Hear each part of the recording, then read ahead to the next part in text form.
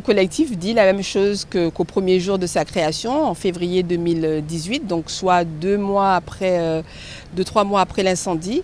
On dit la même chose, ça ne va pas. L'incendie a, a, provoqué un, véritable tsunami euh, dans la santé en Guadeloupe.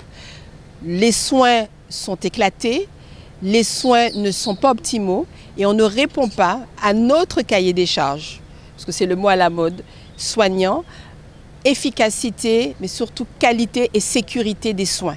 C'est une obligation pour nous de prendre soin de notre population.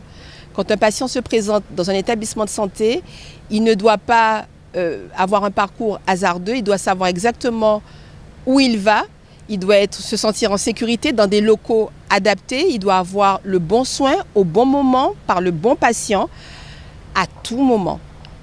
Et au jour d'aujourd'hui, nous ne sommes absolument pas dans ce cas de figure.